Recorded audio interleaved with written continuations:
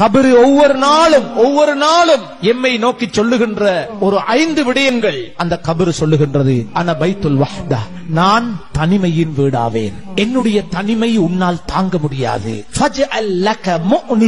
எனவே உன்னோட கூட இருக்கிறதுக்கு ஒருத்தரை கூட்டிட்டு வா. அதுதான் கரீம். அதிகமாக குர்ஆன் ஓது என்னுடைய தனிமைக்கு அந்த குரான் உனக்கு துணையாக இருக்கும். அது சொல்லும் நீ பயப்படாதே. நீ தனியல்ல குர்ஆன் நான் உன்னோடு இருக்கிறேன் என்று அந்த குர்ஆன் உனக்கு கபிரிலே சொல்லும். அதே கபிரு இன்னொரு தகவலை சொல்லுகின்றது. அனபைத்து துல்மா ஃபனவ்விர்னி பிஸ்ஸலாத்தில் லைல். என்னுடைய கபரு என்னுடைய வீடு அது இருள் நிறைந்த வீடு. அந்த இருள் உன்னால் தாங்க முடியாது. அதற்கு நீ லைட் கொண்டு வரணும். லைட் செட் கொண்டு வரணும் அது என்ன? அதுதான் சுபகுக்கு முன்னால. தஹஜுதுல இருட்டுல எழும்பி நீ தொழுகின்ற தஹஜுடைய தொழுகை இருள் நிறைந்த கபருக்கு அது பல்பாக மாறி உனக்கு பிரகாசம் தரும் என்று அந்த கபரே சொல்லுது. வேறொண்டையும் கொண்டு போயிட்டு வெளிச்சம் எடுக்க இயலாது. மேலும் சொல்லுகின்றதான பைத்து துராப் நான் மண் வீடு எனவே அந்த மண்ணுக்கு மேல உன்னால் படுக்க முடியாது. படுக்க முடியாது தூங்க முடியாது. நீ விரிப்பை கொண்டு வா. அந்த விரிப்பு என்ன தெரியுமா? அல் அமலு சாலே. நல்ல அமல்களை உலகத்துல செய்துக்கோ. அது உனக்கு விரிப்பாக அமையும். அதுக்கு மேல நீ நிம்மதியாக தூங்கலாம். மேலும் சொல்லுகின்றது அனபைத்துல் அஃபாயி. நான் பாம்புகளின் வீடு. பாம்புகளின் வீடு. உன்னை அடக்கியதோடு பாம்புகள் எனக்குள்ளே வரத் தொடங்கிவிடும். எனவே நீ அந்த பாம்புகளை விரட்டுகின்ற ஆயுதத்தை கொண்டு வா. அந்த ஆயுதம் தான் நீ அதிகமாக அல்லாஹுடைய பெயரை சொல்லுவது. அவனை விக்கிரி செய்வது. அல்லாஹுவை அதிகமாக நினைவு கூறுங்கள். அது உங்களுக்கு அந்த கபருக்குள்ளே வருகின்ற பாம்புகளை விரட்டி அடிக்கின்ற ஆயுதமாக மாறும். மேலும் சொல்லுகின்றது அனபைத்து சாயில் முன்கர் வனக்கீர் என்னுடைய வீட்டுக்குள்ளே முன்கர் நக்கீர் அலைஹிமா மினல்லாஹி சலாம் பயங்கரமான பயங்கர தோற்றத்தை உடைய பயங்கரமான மலக்குமார்கள் வரவிருக்கிறார்கள். எனவே அதிகமாக உன்னுடைய வாழ்விலே கலிமா ஷஹாதா அஷ்ஹது அல்லா இலாஹ இல்லல்லாஹ் வ அஷ்ஹது அன்ன முஹம்மதர் ரசூலுல்லாஹ் அதனை அதிகமாக சொல்லு. அதனுடைய அர்த்தத்தை விளங்கு. அல்லாஹுவை மதித்து வாழ் அவர்களுடைய கட்டளைகளை பேணி நட. இது அவர்களுடைய அந்த கேள்விகளுக்கு பதிலாக அமையும். என்னுடைய இடம் இருக்கிறதே அபுக்க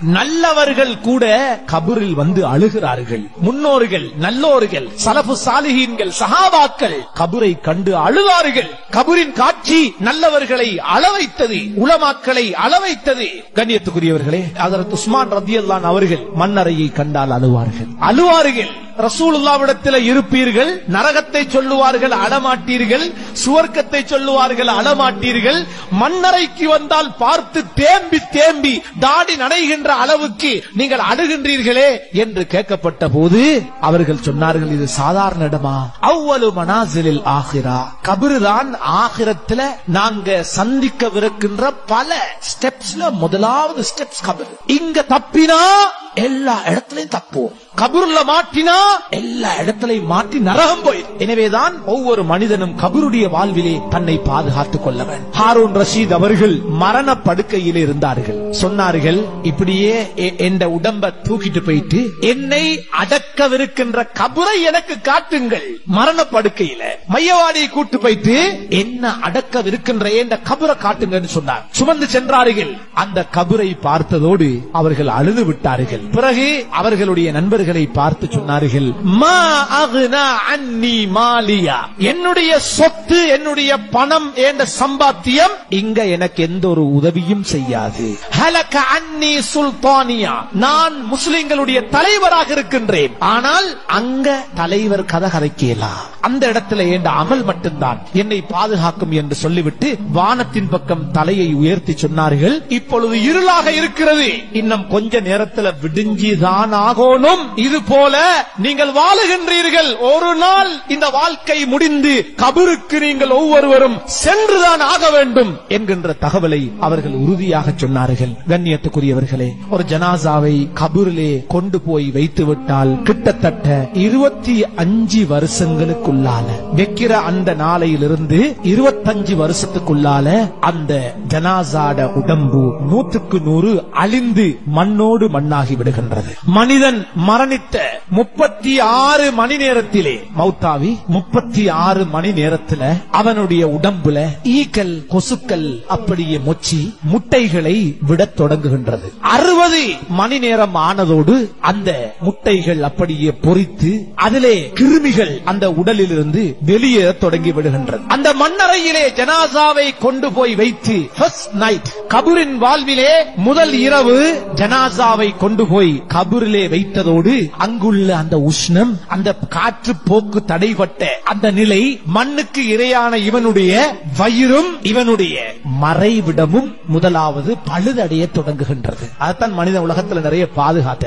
கபூர்ல முதல் இரவே வயிறும் மறைவிடமும் பழுதடைய ஆரம்பித்து விடுகின்றது. அது பழுதடைய ஆரம்பிக்கிறதோட முதல் நாளே அந்த ஜனாசாவுடைய உடம்புகள் பச்சை கலர் நிறத்திலே பச்சை நிறத்திலே நிறம் அப்படியே ஏற்படுகின்றது. சில மணித்தியாலங்களுக்குள்ளே முழுமையாக இவனுடைய உடம்பு பச்சை நிறமாக மாறிவிடுகின்றது. இது ஒரு நாள்ல வயிறு அழுகி மறைவிடம் அழுகி உடம்பு பச்சை நிறமாக மாறிவிடுகின்றது. இரண்டாவது நாள் கபிரிலே இரண்டாவது நாள் இவனுடைய வயிற்றுக்கு உள்ளே இருக்கின்ற இவனுடைய ஈரல் இவனுடைய குடல் அனைத்தும் அங்கே பழுதடைய ஆரம்பிக்கின்றது. மூன்றாவது நாள் இவனுடைய அங்க அவயங்களிலிருந்து துர்வாடை வெளியேற தொடங்கி விடுகின்றது அதே மூன்றாவது நாள் இந்த ஜனாசாவுடைய நகங்கள் கலண்டு விழத் தொடங்குகின்றது.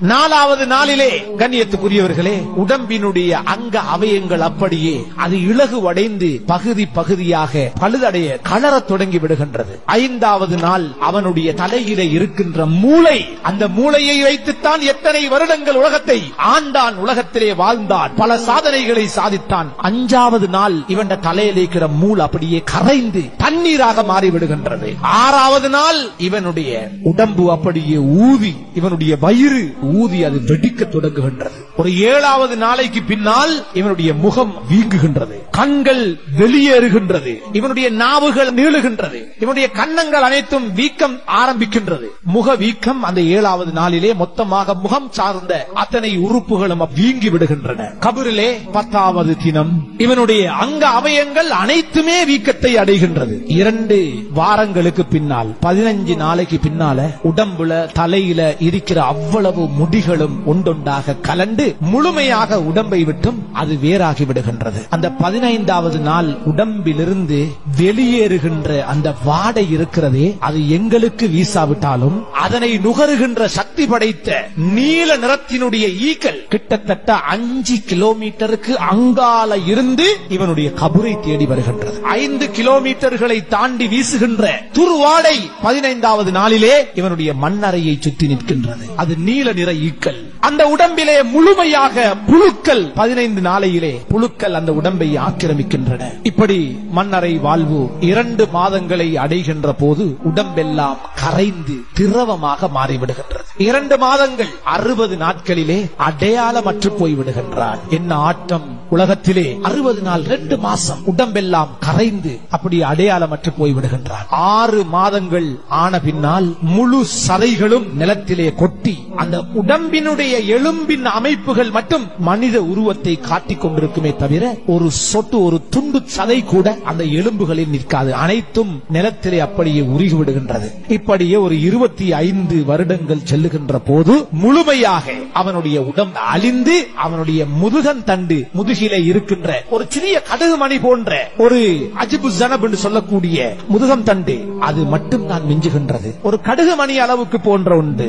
அதை வைத்துதான் அல்லாஹ் எங்களை மீண்டும் கயாமத்திலே எழுப்புகின்றார். ஸல்லல்லாஹு அலைஹி வஸல்லம் அவர்கள் சொன்னார்கள்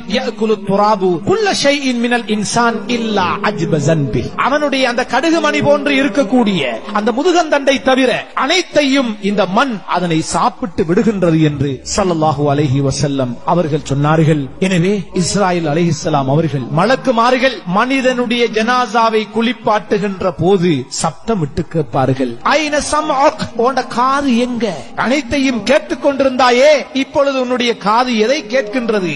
ஏன் நீ செவிடாகிவிட்டாய் உனது பார்வை எங்கே?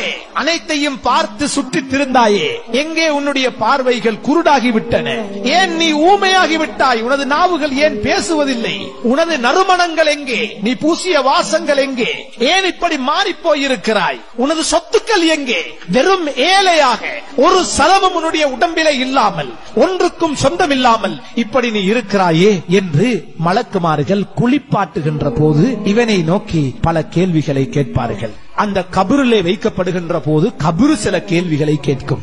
நீ உலகத்தை தேடினாயா? அல்லது உலகம் உன்னை தேடிருச்சா சிலர் உலகத்தை அடைந்திருக்கிறார்கள் இன்னும் சிலரை உலகம் சம்பாதித்துக் கொண்டது. அவங்கள ஆகிறதுக்கு விடவே இல்லை. பள்ளிக்கு விடல. நல்ல அமல்களுக்கு அவங்கள துனியா அவங்கள உடல்ல. முழுக்க முழுக்க சிலரை துனியா அப்படியே பிடித்துக் கொண்டது. அதான் கபரு கேக்குது நீ உலகத்தை தேடினியா? அல்லது உலகம் முழுக்க ஒன்ன புழுங்கிருச்சா நீ உலகத்தை விட்டுட்டு எங்கள்கிட்ட தயாராகி வந்தியா? அல்லது உலகம் ஒன்ன விட்டுருச்சா மௌத்துக்கு நீ தயாராகி விட்டு வந்திருக்கிறாய்? கொண்டாயா அல்லது தயாராக முன்னால் மௌத்து உன்னை வந்து அவசரமாக பிடித்துக் கொண்டதா என்ற பல கேள்விகளை அந்த மன்னரை மரணித்து செல்லுகின்ற ஒவ்வொருவரிடம் கேட்கவிருக்கின்றது. கண்ணியத்துக்குரியவர்களே நாம் மறந்து வாழுகின்ற ஒரு வாழ்க்கை அந்நியவர்களை போன்று இந்த உலகத்திலே மௌத்தை சக்கராத்தை மஹரை இஸ்ராயல் அலைசலாம் அவருடைய வருகையை அல்லாவுடைய கட்டளைகளை ரசூலுல்லாவுடைய வாழ்வை இறைவனுடைய வாக்குகளை குரானுடைய உண்மைகளை எல்லாம் நாம் மறந்து வாழுகின்றோம். உலகத்தினுடைய ஈடுபாடு எங்களை அப்படி ஆக்கிவிட்டது. உலகத்தினுடைய ஈடுபாடு. ஒவ்வொரு நாளும் இந்த மரணத்தை நினைப்போம். நாம் செல்லவிருக்கின்ற நிர்பந்தமான அந்த நெருக்கடியான அந்த மன்னரை வாழ்வை நாள்தோறும் பேசுவோம் கதைப்போம். நம்முடைய வாழ்விலே இறைவனுடைய ஈமானியத்தை நாம் அதிகப்படுத்துவோம். அல்லாஹுவை நேசிப்போம் ரசூலுல்லா அவர்களை நேசிப்போம். அல்லாஹு தாலா எனக்கும் உங்களுக்கும் அந்த உண்மையான மன்னரை வாழ்வை அடைய முன்னால் அதற்கு தேவையான அமல்களிலே ஈடுபட்டு நல்ல பல அமல்களுக்கு சொந்தக்காரர்களாக அல்லாஹ் என்னையும் முழு முஸ்லிம் சமூகத்தையும் ஆக்கி அருள்வானாக. வாஹர் தவானா அனில் ஹம்துலில்லாஹி ரபில் ஆலமீன்.